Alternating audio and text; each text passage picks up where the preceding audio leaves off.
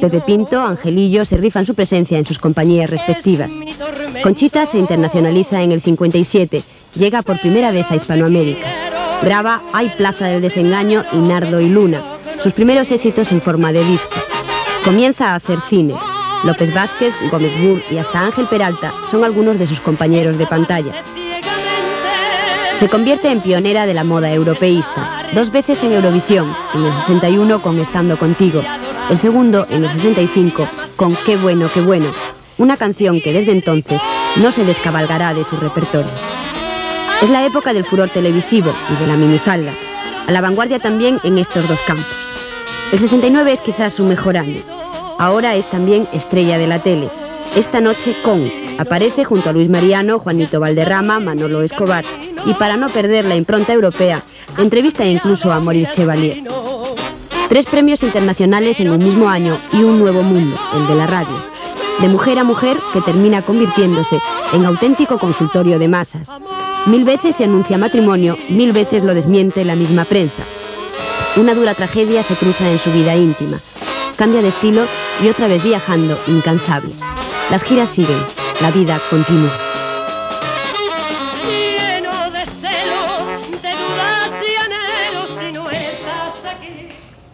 La vida continúa, ¿verdad? La vida continúa, claro que sí. Yo saco mi vídeo, que lo tengo que poner luego. Sí, sí, eso me parece muy, muy bien, eso de estar cuidadoso, sacar la cinta y la base, la base de este programa es la documentación, es tener organizadito todo eso. Hombre, claro. Cuéntame, cuéntame, ¿cómo te imaginabas tú el futuro? Pues, no te voy a decir con esa fotografía desnuda con la que empezamos cuando eras una... Ay, pero que no me digas que no era mona yo. Sí, sí. Luego ya a los 14 años era feísima. Ya no servía para nada. No, era así, delgadilla, muy negra. ¿Y cómo te imaginabas tú el futuro? ¿Por qué no me lo cuentas? Bueno, yo empecé eh, mis estudios en la Escuela Francesa aquí en Sevilla, hice hasta el ingreso. Y, claro, en mi, casa no había, vamos, ningún antecedente artístico para nada, ¿no?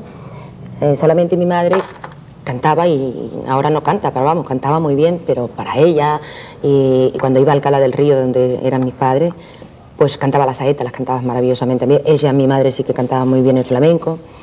Pero así, eh, un artístico, un antecedente artístico, pues no, no, no. ¿Y tú no, te imaginabas que ibas a ir por ahí o, no, yo lo que pasa siempre dijiste yo? No, yo lo que pasa es que siempre he querido ser cantante y llegar a ser una gran una gran figura. Sí, sí, artista, artista.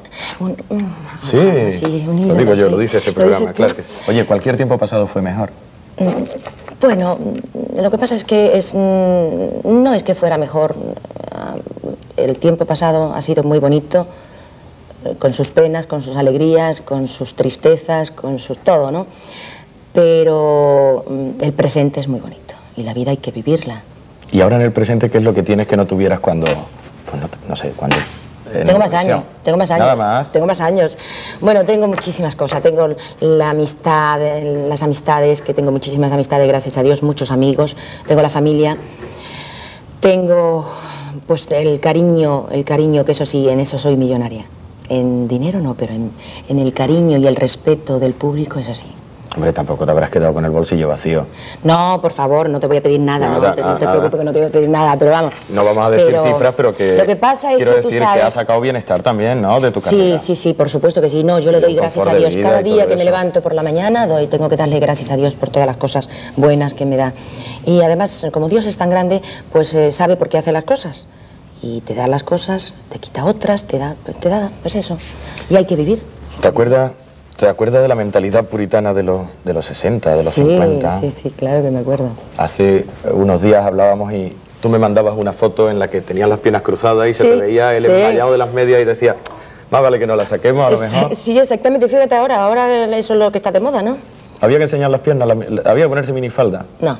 Cuando no, tú además de todas maneras yo no... Quiero decir, ¿se vendía más o se vendía menos si te ponías o no te ponías minifalda? No, porque yo no, yo no creo, ni yo he tenido que pasar por eso, gracias a Dios, y creo que eso no, no existe, no, no, lo sé, ¿eh? porque cada uno cuenta... te digo lo de la minifalda porque era el boom de la época. Claro, bueno, hay que, hay que, yo creo que hay que mm, hacerle un monumento a Maricuán, claro, bueno, Maricuán porque inventó lo de la minifalda, sí, ¿no? Si, ¿no? si no me equivoco, lo tiene en su cuenta corriente. Lo tiene, exactamente. Bueno, pero de todas maneras, yo tampoco me he puesto demasiado minifalda porque yo no tenía un cuerpo ni unas piernas para poner minifalda, porque yo tengo unas piernas muy delgaditas, ya por aquí y arriba ya empieza a engordar un poquito. Quiero decir que, bueno, hay, que tener... Ahora las, las jovencitas, eh, estas niñas jovencitas que van con minifaldas, son una monería Pero claro, a lo mejor yo en esa época que tenía la edad, pero tampoco no tenía el cuerpo para ponérmelo. ¿Otra costumbre? Estás muy guapo, Benito. ¿Sí? Sí. Me va a poner colorado, me voy a poner como tu libro de fotos. No, no, no, que va, que va. ¿Sí? Eso es el reflejo de las uñas. Otra, otra costumbre de la época era que los nombres siempre se decían en diminutivo, ¿verdad? Sí. Tú te llamabas Conchita Bautista. Conchita Bautista. Pues la Velasco se llamaba Conchita Velasco y hasta Encarna de noche se llamaba Encarnita, Encarnita Sánchez. muy gran, gran amiga mía. Y, ¿Cómo eran aquellos tiempos? Bueno, aquellos tiempos... ¿Cómo te los encontrabas tú? Bueno, ¿sabes qué pasa? Que en aquellos tiempos era que los principios, y tú sabes que todos los principios en todas las profesiones en esta vida son difíciles. Y ahora mm, creo yo que para un artista, para una cantante, lo tienen como mucho más, más, no sé, más sencillo. Lo que pasa es que antes era por, a través de la radio, que la radio no morirá nunca. Y de los noticiarios documentales. Por supuesto. ¿Tú sabes que yo tengo un nodo tuyo? No me digas. Sí, sí, sí. No me digas, si tienes aquí cantidad de cosas, a ver, a ver, a ver. Me parece que esto es lo primero que hemos encontrado en el tiempo de ti. Ay, no me digas. Me alegro mucho de haber venido, ¿eh? Y lo hemos montado con su cabecera y todo. A ver. A ver. Mira.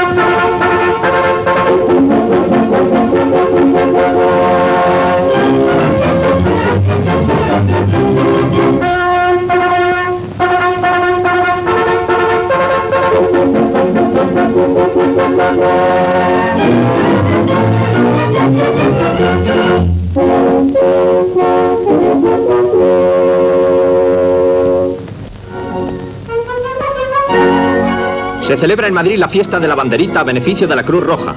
Las señoritas postulantes compiten en su generosa tarea.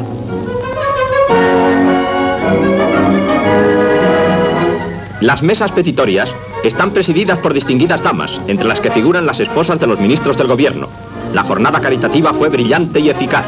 Las mesas se ven muy concurridas por los que allí acuden a depositar su óvulo.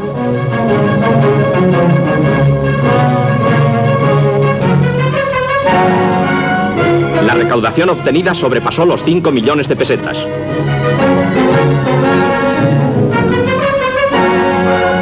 Modelos de las casas de alta costura y artistas conocidas colaboraron también en la fiesta.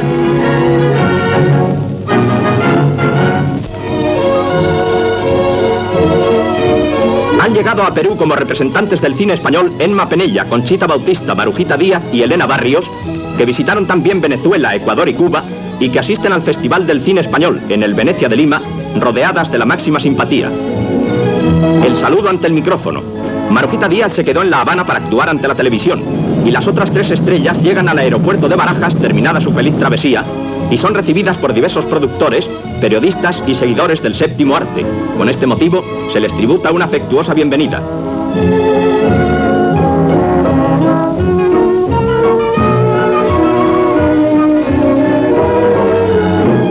Antes de abandonar el aeródromo, las bellas viajeras dan cuenta de las impresiones recogidas en su rápida y feliz misión cinematográfica.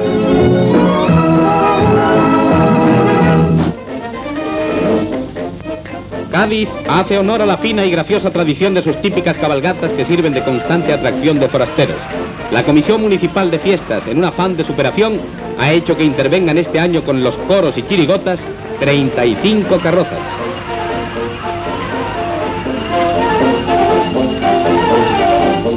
Actuó de reina de estas fiestas la hija del embajador de los Estados Unidos en España, señorita Beatriz Lodge.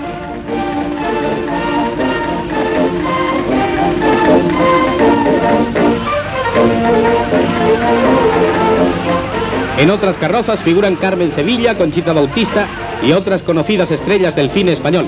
Entre el confeti y las serpentinas el cortejo pasa por la calle ancha.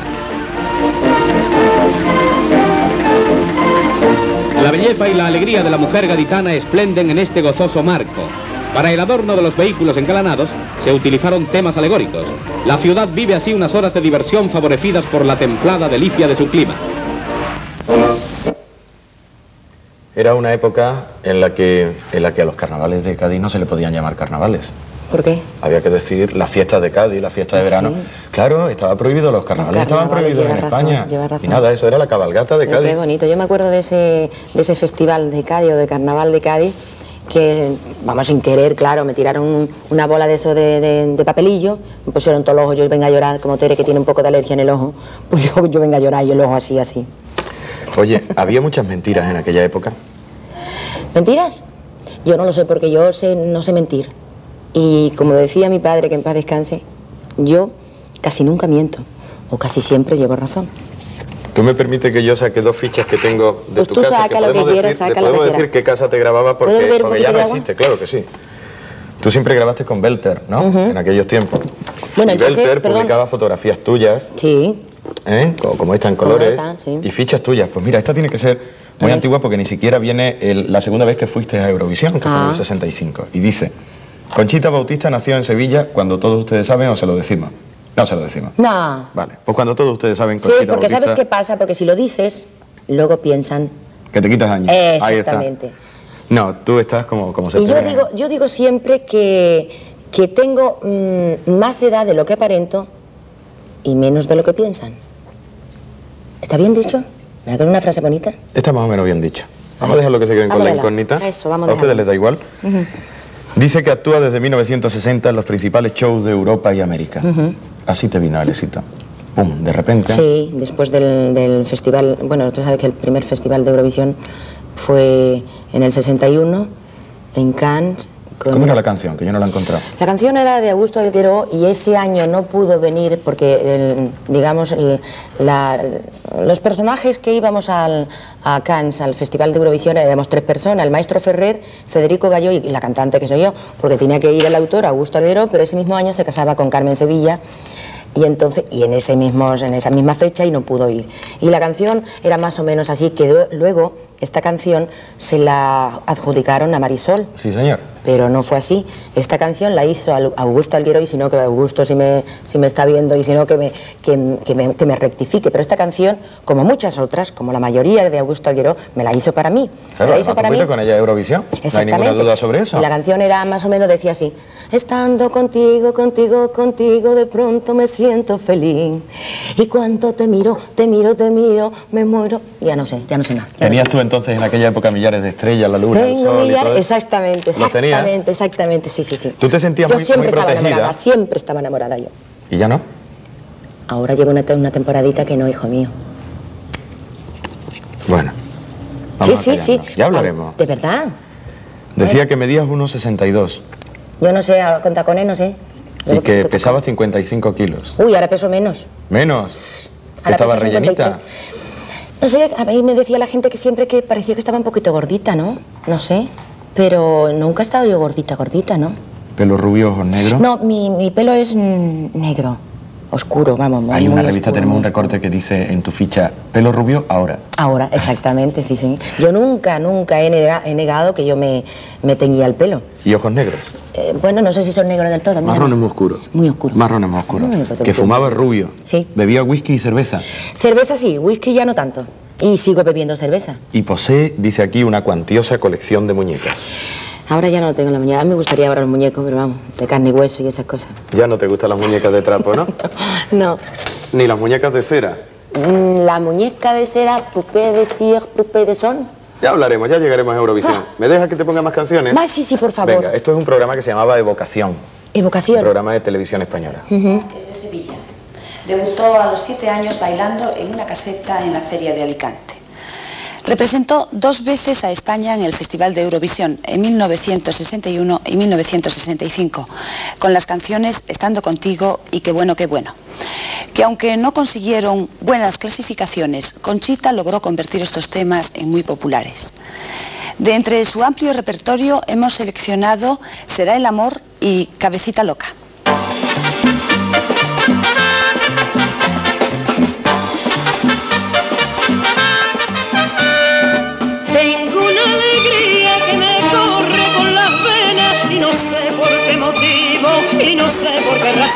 Será el amor, será el amor, será el amor, amor.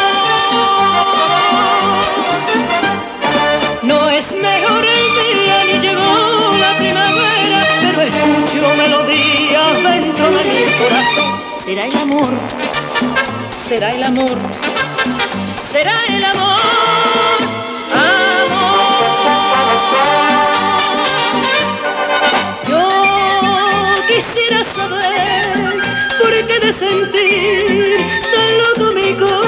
corazón y porque junto a ti me siento feliz. Si nunca me llamas ni comprendo ni siquiera cómo eres, pero cuando estoy contigo yo me olvido de mis penas y no sé por qué motivo y no sé por qué razón. Será el amor, será el amor, será quizás tu amor.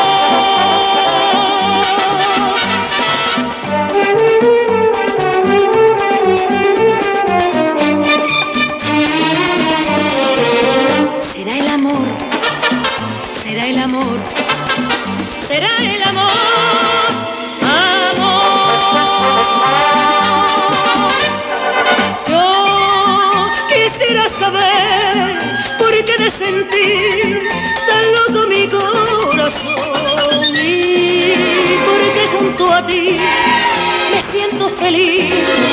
Si nunca me llaman ni comprendo cómo eres, ni tampoco yo me entero de lo poco, de lo mucho que me quieres, pero cuando estoy contigo yo me olvido de mis penas y no sé por qué motivo y no sé por qué razón. Será el amor, será el amor, será quizás tu amor.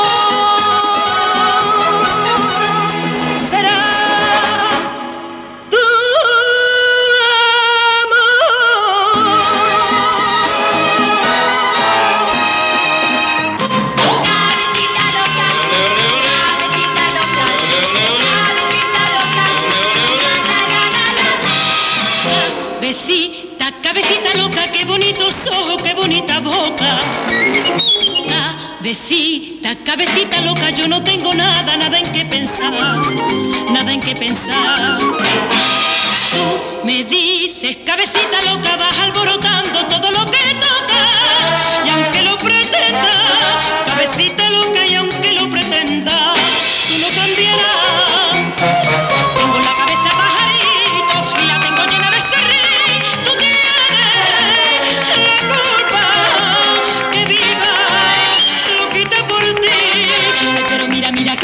cabecita, cabecita loca, vas alborotando todo lo que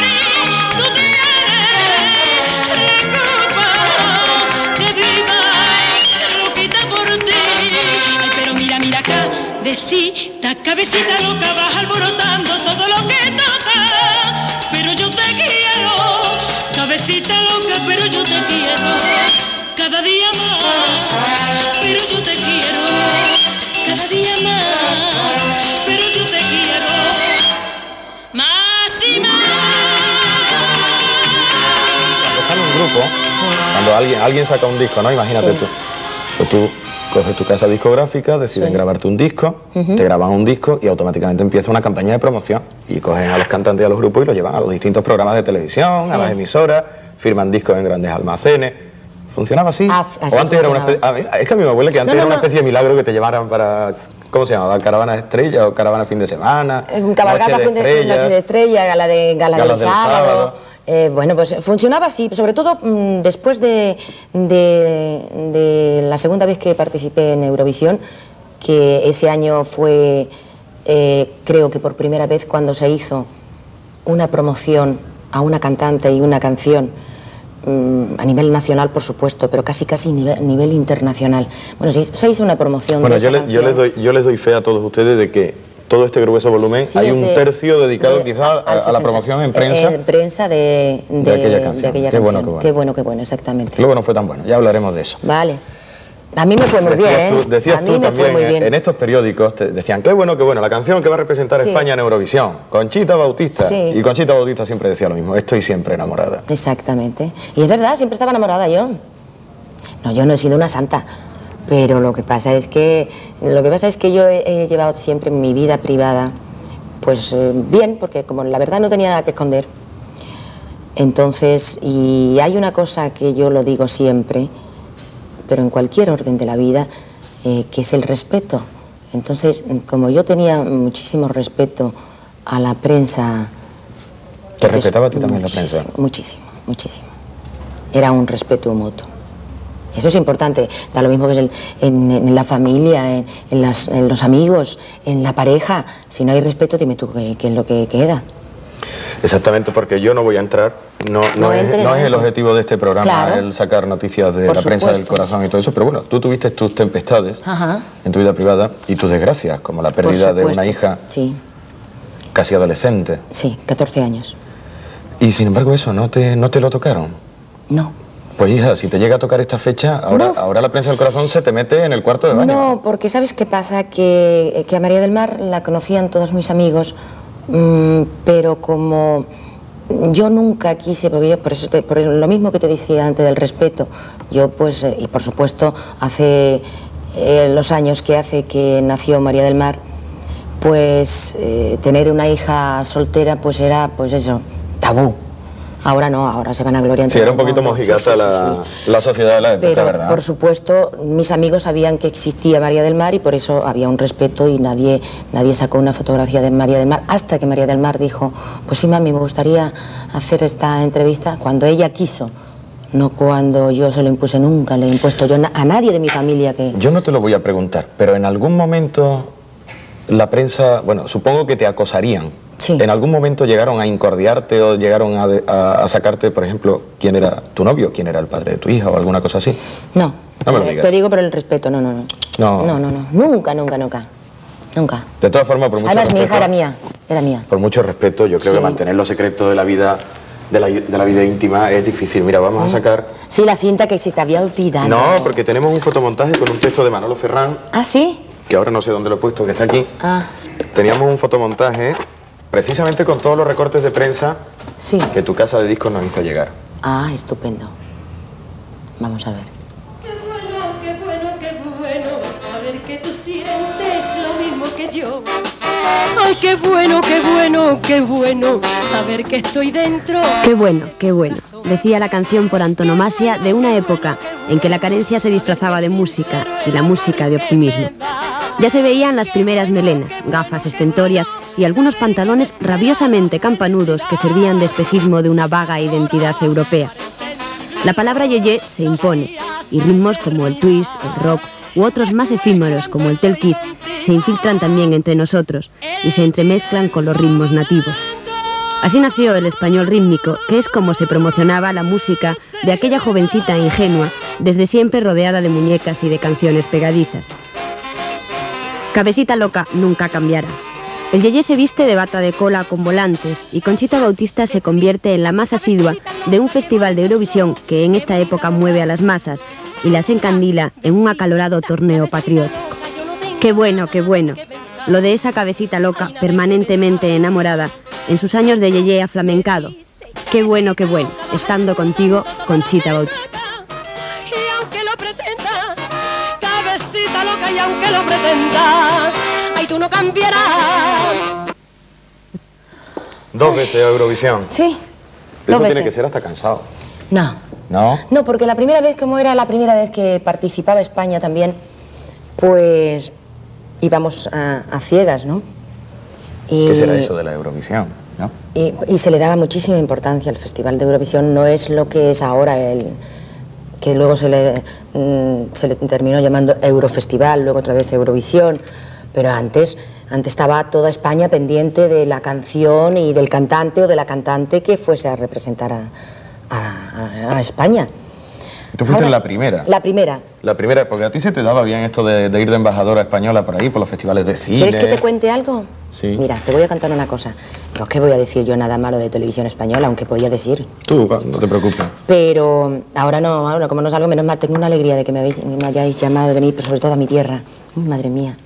Ayer cuando salí, ayer que pasó un susto en el avión, además, que viste hasta fuego en un halo. Sí, sí, candela. Se, metió, se te metió la candela dentro del avión. Por Dios, qué susto. ¿Toca madera? Toco madera. ¿Qué me estabas contando? ¿Qué te estaba contando? ¿Una cosa ah. mala de televisión? Ah, no, no, no, no. Bueno, mala. Que antes, cuando Televisión Española quería quedar bien fuera de España, enseguida, Conchita Bautista. Y ahí estaba Conchita Bautista, iba a todos los países a representar a, a, España. A España para. Y quedaba mejorando lo presente y modestia aparte. Quedaba bien. Muy bien. Por eso siempre estaba Conchita Bautista y he ido por todos los países representando... Hombre, siempre no quedó bien. Por ejemplo, el vestido de flamenca con, el que fuiste a la Eurovisión del 61 decían que no estaba bien. Del, y tú dijiste, del 61 o del 65. Del, del 61, creo, ¿no? Bueno, en el 61, la primera vez, el traje que yo llevaba no era mío, me lo prestó Carmen Sevilla. Y era de flamenca. No era de flamenca. no era de flamenca, era un traje de, de lamé o de, de lentejuela rosa con el cuerpo entallado hasta aquí abajo y luego todos los volantes, un poquito de cola en rosa de, tul. ¿No le gustó a la gente? ¿A ti te gustaba ese traje?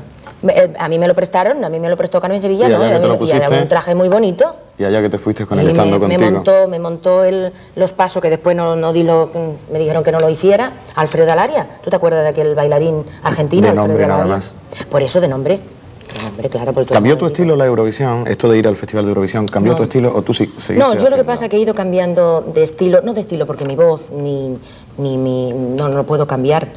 Lo que sí, claro, pues eh, a medida que pasaba el tiempo, pues yo me iba amoldando y aclimatando a los gustos que, iban viniendo. Por eso yo empecé a, a, cantar lo que era el cuplé, la canción, eh, la tonadilla, pues después he pasado a cantar la canción española, moderna, rítmica, con mucho ritmo y todas esas cosas. ¿Te pongo una canción? Ponme lo que quieras. ¿Tú crees que nos pueden poner una canción? ¿Podemos oír una canción?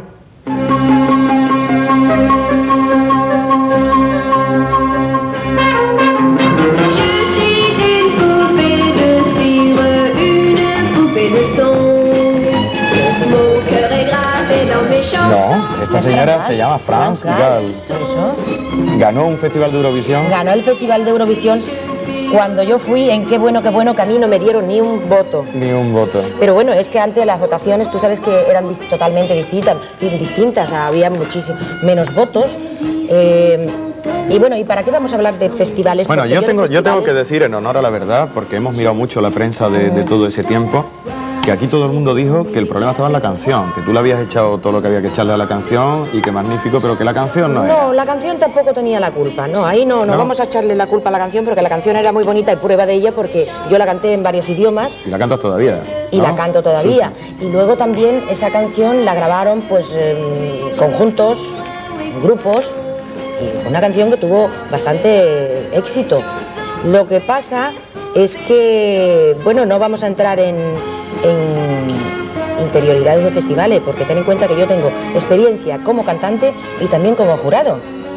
Y hay un poquito de truqui, ¿no? Siempre hay truqui. truqui claro. Tongo. Yo no, yo no puedo llamarle tongo tampoco, porque no sé si llamarle tongo. Bueno, pero quizás, ¿qué, es lo que me intentas decir? que, quizás hay una canción que es la que, tiene que ganar ese año o un país. Exactamente, hay intereses, intereses, vamos a llamarle así, intereses creados y bueno, pues eso. Pero lo que sí te voy a decir es una, una, anécdota de, de, del qué bueno, qué bueno que yo iba además, cuando fui al, festival a, Nápoles, yo iba pues eh, un poco enfermita, un poco anemiquilla, porque me quedé con tanto, con tanta prensa y tanta cosa. No te dejaban. No me dejaban, no podía comer, ni dormir, ni todas esas cosas.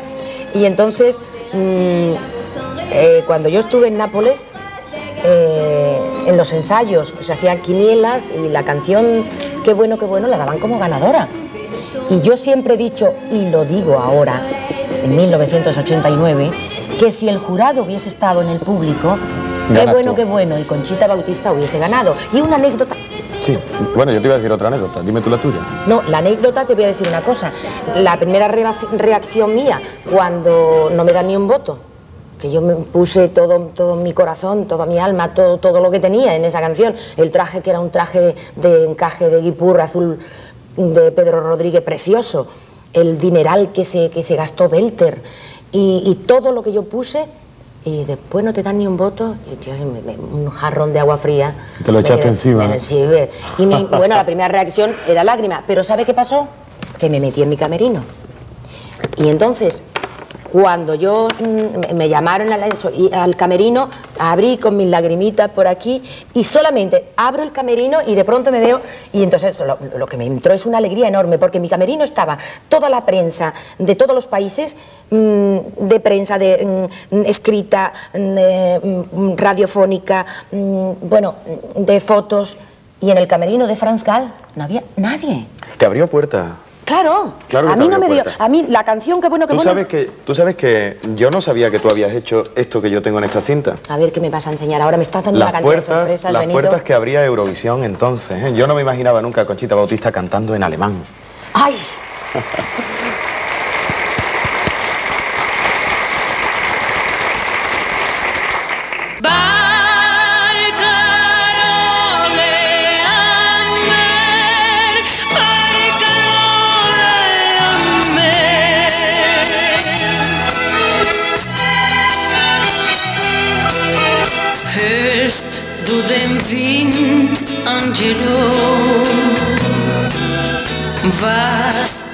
vercelt angelo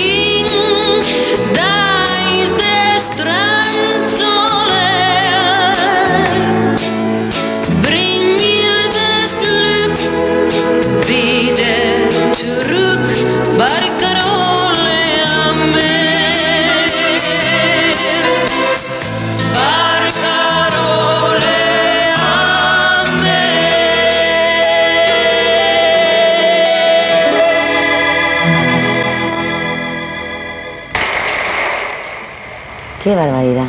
Ay, ¿qué era aquello Qué del español rítmico? Sí, Se decía, español. Conchita Bautista, ¿qué canta? Pues canta español rítmico. Sí, sí, no, a mí nunca me han encasillado ni como folclórica, que además no me molesta en absoluto porque me encanta, ni como... ¿Tú te acuerdas aquellos partidos que se jugaban entre... Bueno, yo nada más que hice uno, ¿eh? El de la folclórica con la finolis. Sí, sí. Yo entré en el de la folclórica, ¿no? Pero después ya mm, ¿Quién ganaba aquellos partidos, las folclóricas o las finolis? Ganamos las las folclóricas. Ahí está. Más Claro, temperamento, más cosas. temperamento, sí, sí. ¿Y el español rítmico qué era? Que yo es que lo leo en todos sitios. Pues, dice, eh, todo el mundo dice, Conchita Bautista, ¿qué es lo que canta? Mi estilo es el español, rítmico. ¿Por qué no rítmico? ¿Qué, qué es el ritmo? A ver, ¿qué es el ritmo? Cha, cha, cha. Con aire español. Con aire español, cha, cha, cha, rumba. mm, Los ¿Qué te iba a decir? Yeye, Los bueno, yeye también, también. también. ¿Tú te acuerdas la pachanga? Todas esas cosas. Sí, Pues sí. yo, claro, pues a sí, yo medida tengo que hasta iban discos de esos- Arthur Murray de esto que vienen los pasos y todo para aprender a bailar Claro. la pachanga y el tú y todas esas cosas. Claro. Y aquella, ay, ¿cómo se llamaba aquella otra? Que había que dar dos pasitos para adelante y dos pasitos Había para uno atrás. muy fuerte que se llamaba el Let Kiss, que yo no Ah, sabía nunca lo que sí, era. sí, sí, pero tenemos fotos tuyas es- bailando el sí, Let bailando Kiss. Kiss. Pero eh, Eso había fue efímero, ¿no? Sí, había otro que, que- que- ¿cómo se llamaba ese que había pasito para adelante? La yenca, la, La yenca. yenca. Pues yo tengo una canción. izquierda, derecha, derecha, Eh, delante, izquierda, derecha, derecha, Venga. derecha. Sí. Dime. La influencia del flamenco o de la copla en tu forma de cantar. Bueno, ¿sabes qué pasa? Que como buena sevillana, que me siento orgullosísima de ser sevillana, y lo siento además, aunque nunca he tenido demasiado acento, y yo me fui muy jovencita, muy jovencita de Sevilla, pero cada vez que me brindan la oportunidad de venir a Sevilla vengo corriendo, corriendo. Y tienes influencia de la copla en la manera Sí, de por cantar. supuesto, por supuesto que sí. Entonces de tenemos definido más o menos el Sí. español rítmico, Sí. una cosa muy, muy española. Y ahí hay con una los cosa- ritmitos modernos que nos Exacto. estaban llegando de por ahí, Sí, de por ahí lejos. sí, hay una cosa en mi voz que es un quiebrecito que eso, eso lo, lo da la tierra también, claro. Lo de la tierra y la profesión. ¿Algún, También. algún gesto tendría, porque aparte del tipito, la mata de pelo y las canciones que cantara, ¿algún truqui tenías tú que tener para encandilar al público? Por ejemplo, un señor Que es curioso, ¿eh? porque, vamos, que Vázquez Montalbán se, se- se dedica hasta a escribir libros de la crónica sentimental de España Fíjate, y que diga que, lo, lo leo textualmente, Sí. dice, Conchita Bautista es la que mejor guiña con el ojo derecho, que es el ojo más difícil de Por guiñar. supuesto que sí. A ver, a ver. ¿Y con el izquierdo? Más fácil. Es más, seguro que hay Más fácil, diferencia. Mira, Yo hice una, yo hice una en, en la redacción donde preparamos el programa, hice una especie de demostración. Bueno, todo el mundo nos pusimos a guiñar el derecho El- y el el- izquierdo. igual- igual- ¿a ti cuál te Había- resulta? Había división de opinión, a mí me resultan los dos. ¿Los Yo dos es que, difíciles? la verdad es que he nacido con menos gracia, vamos, pero... me resultan los dos, ¿sí? sí. ¿Con qué te identificabas? ¿Te identificabas con esos guiños, con el quiebrecito de voz, con sacando la sí, voz? el como guiñito me gustaba ¿verdad? mucho a mí, a, a mí guiñar sí, porque yo era muy coqueta. Sigo siendo coqueta porque la verdad es que me encanta. Me encanta. Es una cosa que me encanta ser coqueta. Me gusta Entonces no me va a decir qué canción te dio más dinero, me va a decir que todas. dinero. Pff, No sé, hijo mío, pero lo que, pero más satisfacciones mm, a mí me ha dado el Será el amor. Eh, No tengo una en exclusiva, tengo Será el amor que la tuve que cantar en Polonia siete veces seguida. Siete veces, ¿sabes lo que es Será el amor siete veces seguida? Pues así la tuve yo que cantar. ¿Y los polacos te entendían? Yo no sé si me entendía, pero se, pero se, se levantaban, se levantaban aplaudiendo y luego fui hasta... la, la verdad es que era bastante, como bastante pegadiza, bastante Fui- agradable. Sí, será el Ah, amor, sí. Y luego estuve haciendo recitales por allí. No, no me entendían, pero yo los hacía cantar a ellos. Fíjate tú qué cosa, ¿eh? Y tú sabes que es un pueblo muy... iba, muy- iba algunas veces a, a Polonia algún español y cuando le pedían el pasaporte decían, ¿usted qué? Y decía español. Y dice, ¿usted es Conchita Bautista? ¿eh?". ¿Verdad? Sí, enseguida Confundía, a prácticamente sí. todo el mundo preguntaban si Sí, era sí. Conchita Bautista. Espérate, a ver si no me lío porque... A ver, ¿qué te pasa ahora? ¿Qué yo me vas a tengo un poner cacao. Es que a lo mejor me equivoco hasta de cinta y todo eso. Bueno, pues Pero después bien. de llevar, vamos, llevamos casi tres cuartos de hora de entrevista y de ver Entrevista. Uy, cosas. qué bien, Pero hay oye. una entrevista muy divertida que tú te hiciste una vez a ti misma. Ay, sí. Venga. En el programa esta noche con... Sensitiva, alegre, espontánea, un afán constante de superación y... Por favor. Ha representado a España en innumerables festivales, ha grabado unas canciones en alemán. ¿Qué te estás pasando? ¿No es verdad lo que estoy diciendo? Sí, pero prefiero una imagen más concreta. Bueno, imagen concreta. Conchita Bautista nació en Sevilla. ¿Edad? La tuya. ¿Cómo, cuándo y por qué llegaste al mundo de la canción? ¿Cómo llegué? Como todos los que empiezan, con muchas ilusiones, hace 10 años. Los años de los cantantes también tienen 365 días y 24 horas. Y como te decía, por auténtica vocación. ¿Te consideras una primera figura? La verdad es que debo ser la última, porque suelo cerrar el espectáculo. ¿Y el público aguanta? Mm, Eso parece. Vamos a ver, Conchita. ¿Tú crees que en el éxito cabe la suerte? Por supuesto. ¿Tú la tienes? Sí. ¿Y en contrapartida eres desgraciada en el amor? ¿Qué amor? Hemos leído todos ciertas noticias de boda. ¿Nos cuentas estos secretillos sentimentales? No, porque entonces dejarían de ser Vale. secretillos, celosa de su vida privada. Vamos a ver. ¿De tus actividades como presentadora? Por favor, eres tú la que presenta. Y tú presentas y yo canto. Y Conchita canta canta estas canciones que han determinado su puesto en la melodía española. O sea que aquí tienes a tu público y con ustedes Conchita Bautista y sus canciones.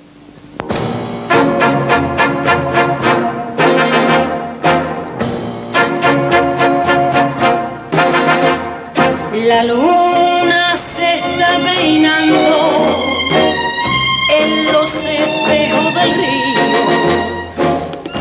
Las canciones las dejamos, ¿no? Sí, yo creo que sí, ¿verdad? Venga, vale, pues muy bien. ¿Ha visto Pero que tenemos bien? que seguir charlando. ¿Ha visto qué bien presentó?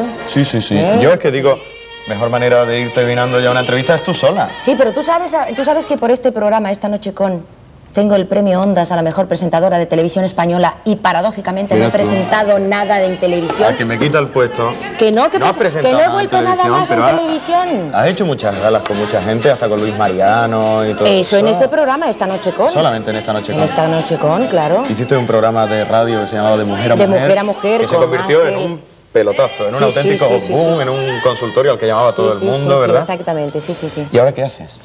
Pues ahora ah, colaboro mucho con, con la obra cultural de Caja de Ahorro en Monte de Piedad de Madrid, Caja Madrid, vaya, la obra cultural. Entonces, mm, el mes pasado hice un recital o un concierto, como quieras llamarlo, con Felipe Campuzano. La primera parte la hacía él al piano, que toca el piano, este gaditano que no se le puede aguantar, Felipe Campuzano, y la segunda parte, pues me acompañaba él al piano en un, en un concierto. Una cosa preciosa, nos quedan por hacer todavía uno en Barcelona, en Aranjuez y en Santander. ¿Tú me permites que te corte? Sí, es que como vamos no, apurados, yo quiero que se vea este vídeo. Pues vámonos. Venga, a ver si lo tenemos. Ay, ay, ay, ay.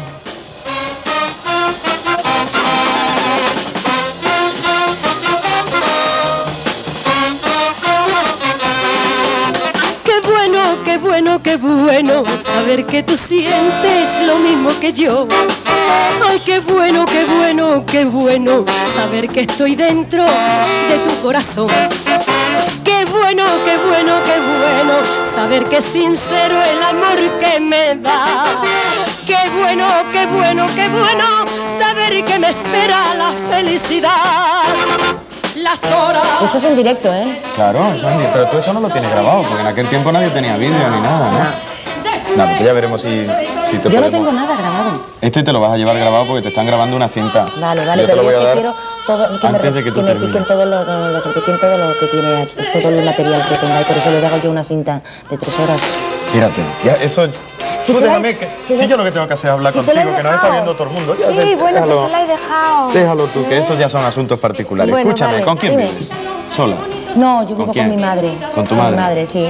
Porque los demás, eh, todos mis hermanos, mi hermana Sita vive en Marbella, mi hermana Laura vive en Las Palmas, mi hermana María Rosa vive en Madrid, tengo 10 sobrinos, y yo vivo con mi madre, con mi madre en Madrid y ahora tengo una señorita que nos acompaña que, que- que se porta muy bien ¿Y un con mi mamá. Mercedes, pero que ya está viejito, Sí, pero no tengo dinero para cambiarlo, tiene ya 8 años en Mercedes.